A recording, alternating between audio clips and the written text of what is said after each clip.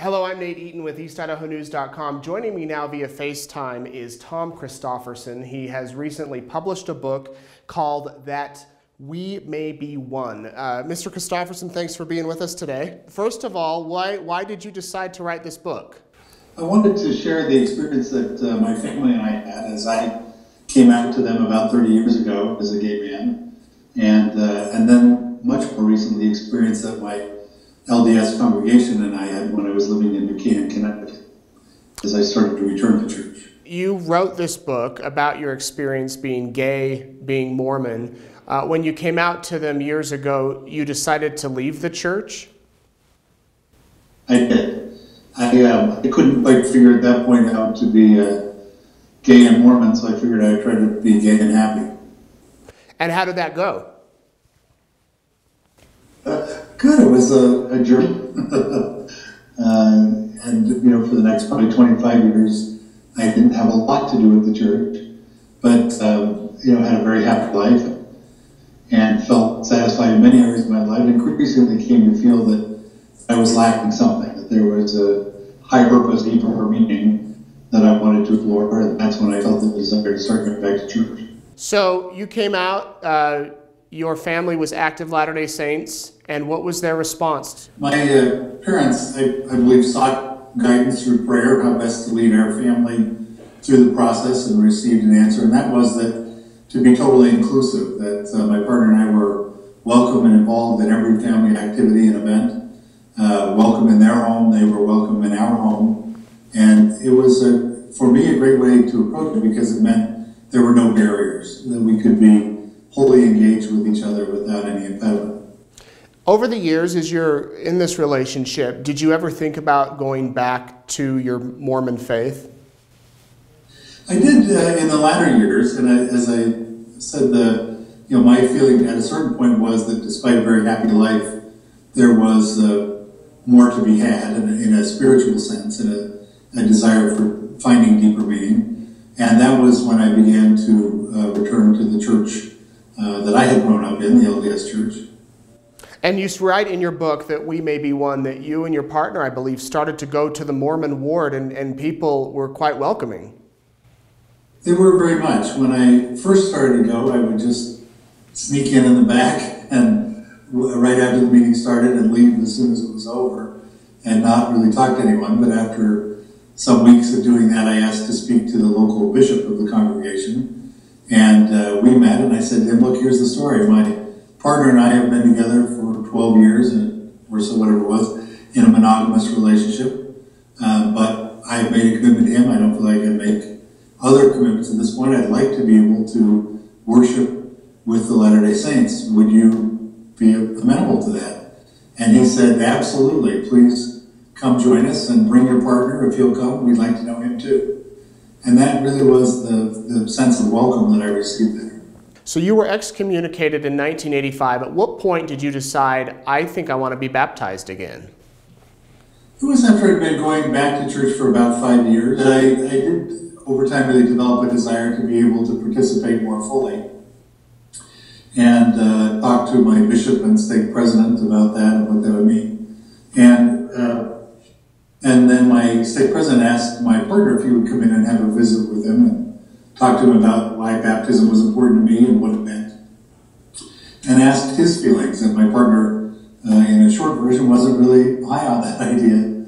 And so the stake president said to me, I don't think this is the right time. I think you two should talk about it, and if it ever comes to a point where that seems the right process for both of you, then we'll talk about it again. So it was about a year later when my partner felt that uh, he wanted me to do what was what I thought would be the right thing for me, and he would then need to figure out what that meant for him. And that would mean that you all would end, end your relationship, or at least uh, the physical aspects of your relationship. What would that mean? Right, the, the physical aspect had, had changed, obviously, to, to be qualified for baptism, but uh, my hope had been that our, over a long period of relationship that, that the emotional connection that we shared was really so powerful and, and valuable that we would want to maintain that. Um, and, and we did for a time, but that really wasn't a really happy outcome for my partner. And he felt that he would rather be able to, you know, end the relationship and, and see what that, what he might find otherwise. So I read too that when you all decided to call things off, your family was sad. It was like losing a member of the family. Of course, after you know nearly two decades, uh, my my brothers and sisters-in-law, my parents, had come to really love him, and he them, and my nieces and nephews considered him another uncle. So it was a, it was hard. Some members of the family have stayed in contact with him, and, and some have not. But I think we all miss him. It was a great addition to our family. Do you, uh, you know, keep in touch with him anymore? We do. Not, not as often as I might like, but we do. One of the things that, of course, has caught the attention of a lot of people with this book is your relationship to Elder D. Todd Christofferson. He's a member of the LDS Church's Quorum of the Twelve Apostles. Uh, what, what was your relationship like with him during your journey? We've always been close. He, he was very loving and uh, inclusive in, in his way of dealing with us. I don't think we ever doubted what he believed or, or how he the church's policies and doctrine, but you know, he was very loving to us, and we appreciate it. And what did he think when you said, "I'm getting rebaptized. I'm coming back"? well, it's been uh, speaking with him and with my other brothers and my parents along that process. Um, in the couple of years before I was baptized, that both of my parents had passed away, but um, you know, they, they knew that I was where I was in this process and were very supportive. So, what did you think back in November of 2015 when the policy came out saying that uh, if you, you know, are in a gay relationship, you're considered apostates, and if you have children who are under 18, they can't get baptized into the LDS Church unless they disavow their parents' relationship?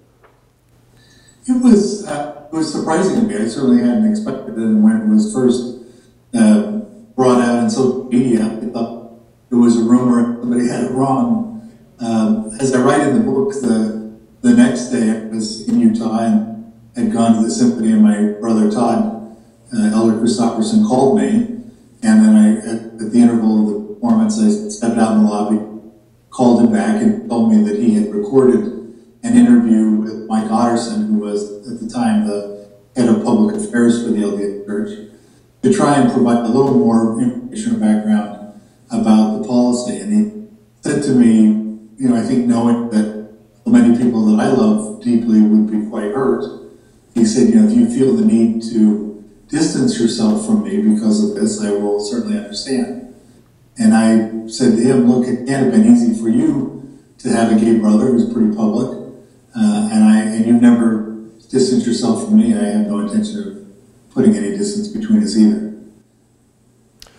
Wow. So, do you want the church's policy to change, and do you think it ever will? I don't know. My, my feeling has been that uh, I'm torn. Uh, people that I love who are same-sex couples have gotten married, and I've been happy to be at their ceremonies.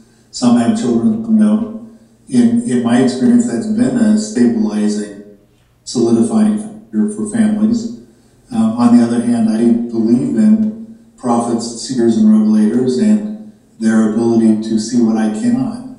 And so I can see both sides of this and, and have not been able to fully reconcile in my own mind. I continue to study it pray about it and hope that someday that I'll have clarity.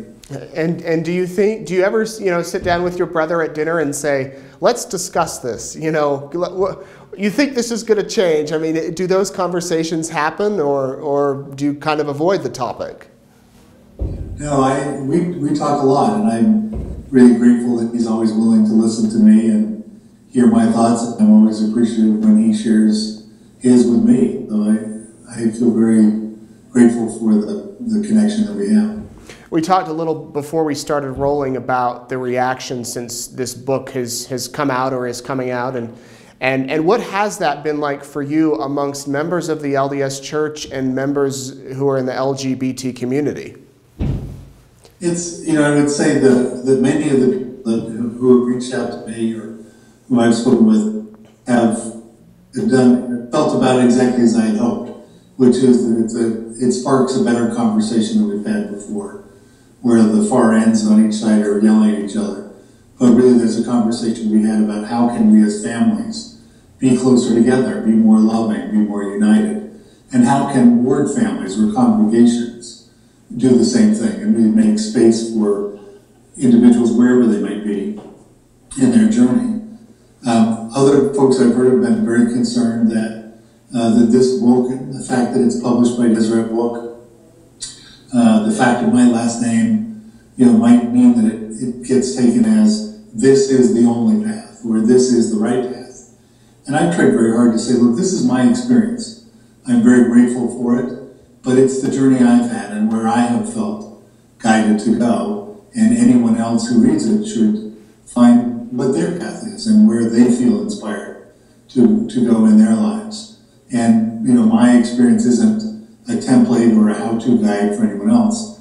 It's really, the book is really intended to be some experiences that might offer suggestions or ideas to other people as they prayerfully seek to find the way that will be best for their families or for themselves. And do you feel welcome and wanted since you know you've kind of become a public figure in, in your ward among members of the church?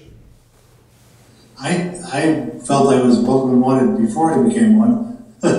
and now, now they're kind enough to ignore all the stuff around it and just treat me as me. Well, good. And your reaction from the LGBT, commu- LGBT community, are there some that feel like you might be a, a traitor or that you uh, are denying your true self? I think some do. And, you know, for some who have in their history been members of the LDS Church, you know, some feel that they've got uh, wounds that are very real and raw from from experiences that were not as happy as mine have been. And, you know, for them, it's very hard to hear something that suggests that there could be a place for them in the church. And so I, you know, I want to be sure that we're letting everyone tell their story and open to hear what anyone's experience has been so we can learn together and grow together. Well, Tom Christofferson, we appreciate you for joining us from your home in Salt Lake City. Again, the name of the book is That We May Be One, and you can pick it up uh, online, Deseret Book, uh, a few other stores. And we appreciate you talking with us here at EastIdahoNews.com. My pleasure. Thank you.